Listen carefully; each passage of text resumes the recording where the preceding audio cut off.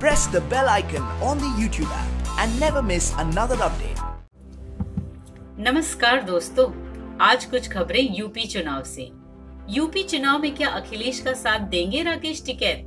Samajwadi party प्रमुख ने दिया ये प्रस्ताव। अखिलेश ने कहा कि राकेश टिकैत अगर हमारे साथ चुनाव लड़ेंगे तो मैं उनका स्वागत करता हूँ। वे किसानों के एक बड़े नेता हैं और उनका आंदोलन भी राजनीति से दूर रहा है। ऐसे में यह फैसला उनको लेना है। अगर वे चुनाव लड़ने की इच्छा रखते हैं तो हम इसका स्वागत करेंगे।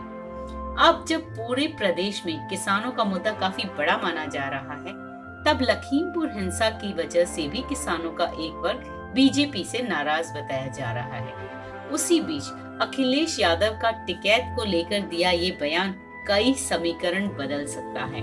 वैसे बातचीत के दौरान अखिलेश यादव ने पीएम मोदी के प्रचार पर भी बात की, जब पूछा गया कि क्या उनका मुकाबला इस बार पीएम मोदी से है।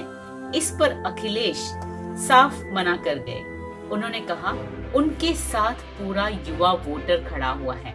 उन्होंने कहा कि यूपी चुनाव है, इसलिए चेहरा भी योगी नहीं है। वहीं पर पीएम का नाम लेने से वे इसलिए बच रहे हैं कि यूपी का चुनाव है, केंद्र का नहीं। वहीं अभी चुनाव में समाजवादी पार्टी की लाल टोपी पर भी सियासत तेज हो गई है। पीएम ने भी जोरदार हमला करके इसे रेड अलर्ट बता दिया है। अब अखिलेश कहते हैं कि बीजेपी इमोशंस नहीं समझती है। ये लाल रंग बीजेपी के लिए खतरे की घंटी है। इशारा है कि उनकी सरकार जाने वाली है। उनके मुताबिक माँ दुर्गा का रंग लाल होता है, सिंदूर का रंग लाल रहता है, लेकिन बीजेपी ये सब नहीं समझती। तो देखें आगे क्या होता है।